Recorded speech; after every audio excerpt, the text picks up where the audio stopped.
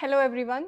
My name is Jasmine Kaur and I'm a PhD student at IIIT Delhi and I am your TA for the course VLSI Design Flow RTL to GDS. In the previous tutorials, we have explored different tools for the various stages of VLSI design flow from high-level synthesis to logic synthesis. Now in this tutorial, we will move on to physical design, which is uh, which we will uh, for which we will be using OpenRoad app, which is an open source tool. And what, what is OpenRoad? It is an integrated circuit physical design tool that takes the design from logic synthesized Verilog that we obtained from the logic synthesis step to the final routed layout. So what are the different steps that will be carried out using OpenRoad? That is uh, chip planning, which includes floor planning, power planning, then uh, placement, then uh, we will do uh, uh, clock tree synthesis, and then finally we will do routing. So in this uh, tutorial, we will see the steps to build OpenRoad locally in your machine. So for this, we will open WSL window and in that we will clone the repository from GitHub. So git clone minus minus recursive and this is the uh, link from GitHub to download the repository. Enter. So it is uh, downloading the repository from GitHub. Now, we will go into the directory open road, cd open road. In this, now we need to install the dependencies. For that, we will sudo dot slash etc dependency installer dot sh. So this file contains all the dependent files and uh, applications and programs that are required for OpenRoad. So it is download downloading these dependencies. So it will take quite some time so after uh, this these dependencies are in, uh, downloaded, now we will make a directory build.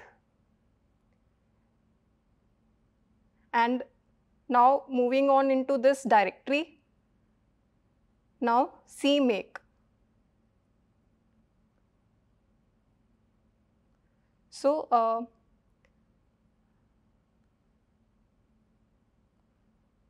This will take a few seconds.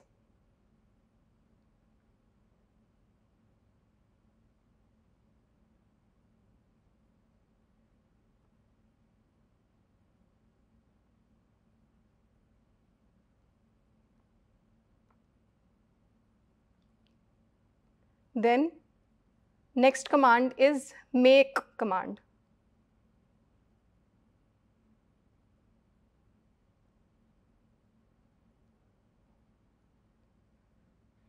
So uh, after you run this command, it will take around 2 hours for installation.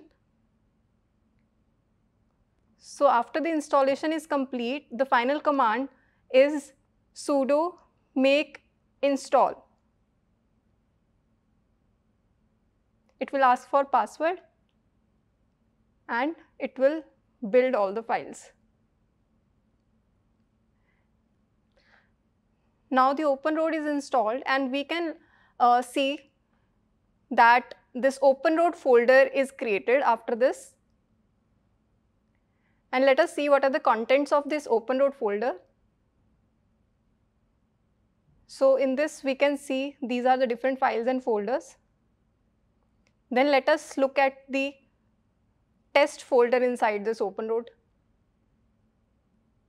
So here we can see there are these NANGate 45, ASAP 7 and Skywater. So these are the different libraries that are there that come as you install OpenRoad. So these are already there. And then we have these scripts, Tcl files, Verilog files, and constraint files. So we have ex example scripts here. So uh, in our uh, In our tutorials, we will be looking at GCD uh, example using NANGate 45 library.